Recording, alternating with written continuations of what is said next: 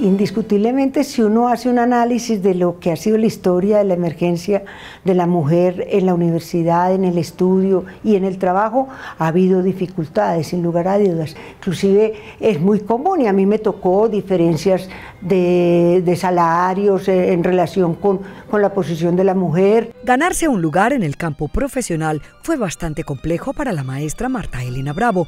Persistió y encontró en la cultura su mejor aliada. Mi padre murió muy, cuando estábamos muy jóvenes y todos nos comprometimos con los mayores que nos apoyaron a trabajar.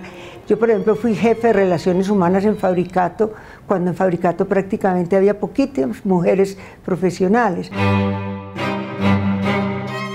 Las empresas a mediados del siglo pasado estaban dominadas por los hombres, lo que dificultaba la vida profesional de las mujeres que lograban entrar en ellas. El mundo laboral era muy difícil, pero nos tocaba enfrentarnos. Entonces eso tiene que ver con procesos de autonomía, de autonomía de pensamiento, de autonomía personal, pero también de compromiso laboral, que no es solo por ganar un salario, sino por tener un papel en una sociedad. El destino de Marta Elena Bravo la ha puesto al frente de importantes proyectos culturales en Antioquia y Colombia.